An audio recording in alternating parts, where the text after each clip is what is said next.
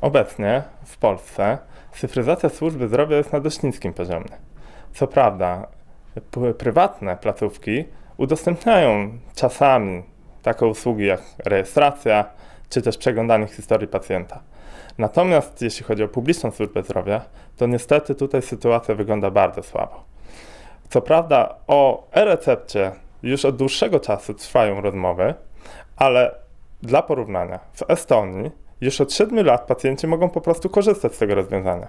Estonia oczywiście nie jest jedynym krajem europejskim, w którym to rozwiązanie jest dostępne, no bo na przykład w Finlandii, w Norwegii, nawet w Grecji e-recepta jest normalnie dostępna dla pacjentów. W Polsce wideo rozmowy są rozwiązaniem bardzo niszowym. Podczas gdy w innych krajach, przykład w USA czy też we Francji, powoli stają się standardowym narzędziem, które jest używane przez lekarzy przy normalnej terapii. Według naszych badań ponad 70% pacjentów uważa, że cyfryzacja służby zdrowia w Polsce jest słabo rozwinięta.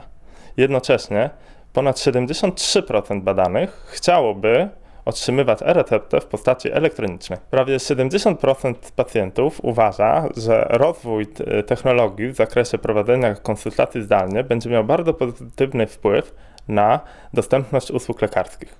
Moim zdaniem można się spierać na temat tego, kiedy te usługi staną się powszechne.